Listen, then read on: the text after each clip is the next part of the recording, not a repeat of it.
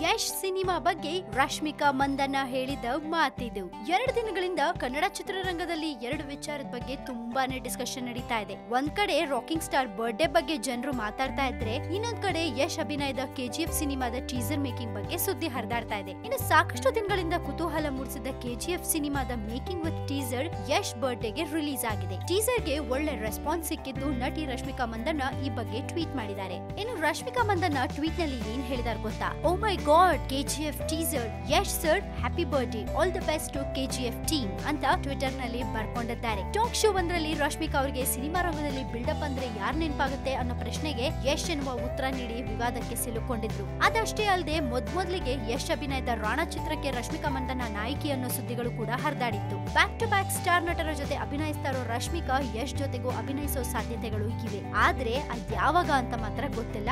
ಸಾಕಷ್ಟು ದಿನಗಳು ಕಾಯ್ಬೇಕಿದೆ. ಯಾಕಂದ್ರೆ ರಶ್ಮಿಕಾ ಮಂದಣ್ಣ ಇದೀಗ ಗಣೇಶ್ ಜೊತೆ ಆಯ್ತು. ಈಗ ಡಿ ಬಾಸ್ ಜೊತೆ ಅಭಿನಯಿಸೋಕೆ ಹೊರಟಿದ್ದಾರೆ. ಸೊ ನೆಕ್ಸ್ಟ್ ಯಶ್ ಜೊತೆ ಯಾವಾಗ ಆಕ್ಟ್ ಮಾಡ್ತಾರೆ ಕಾದ್ ನೋಡ್ಬೇಕಿದೆ. ಎನಿವೆ ರಶ್ಮಿಕಾ ಮಂದನ ಅಂತೂ ಕೆಜಿಎಫ್ ಮೂವಿಯ ಟೀಸರ್ ನೋಡಿ ಸಿಕ್ಕಾಪಟ್ಟೆ ಇಷ್ಟಪಟ್ಬಿಟ್ಟಿದ್ದಾರೆ. ವಾವ್ ಆಸಮ್ ಅಂತ ಕೂಡ ಹೇಳಿದ್ದಾರೆ. ಸೊ ನಿಮ್ಗೂ ಕೂಡ ಕೆಜಿಎಫ್ ಟೀಸರ್ ಇಷ್ಟ ಆಯ್ತಾ? ನೀವೇನ್ ಹೇಳ್ತಿರೋದ್ರ ಬಗ್ಗೆ ನಿಮ್ಮ ಕಮೆಂಟ್ಸ್ ಮಿಸ್ ಮಾಡದೆ ನಮಗ್ ತಿಳಿಸಿ. ಹಾಯ್ ಎಲ್ರಿಗೂ ನಮಸ್ಕಾರ. ನಾನು ನಿಮ್ಮ ಪ್ರೀತಿಯ ಧ್ರುವ ಸರ್ಜಾ. ಫಿಲ್ಮಿ ಪೀಟ್ ನಮ್ಮ ಎಲ್ಲ ರಿವ್ಯೂಸೇ ಆಗಿರ್ಬೋದು, ನಿಮಗೆ ಅಪ್ಡೇಟ್ಸ್ ಏನೇ ಆಗಿದ್ರು ಫಿಲ್ಮಿ ಬೀಟಲ್ಲಿ ಇದೆ ಸೊ ನೀವೆಲ್ಲರೂ ನೋಡಿ ಸಬ್ಸ್ಕ್ರೈಬ್ ಮಾಡಿ ಅಂತ ನಾನು ಮಾತು ಮುಗಿಸ್ತಾ ಇದ್ದೀನಿ. ಥ್ಯಾಂಕ್ ಯು ಸೋ ಮಚ್ ಜಯ ಆಂಜನೇಯ.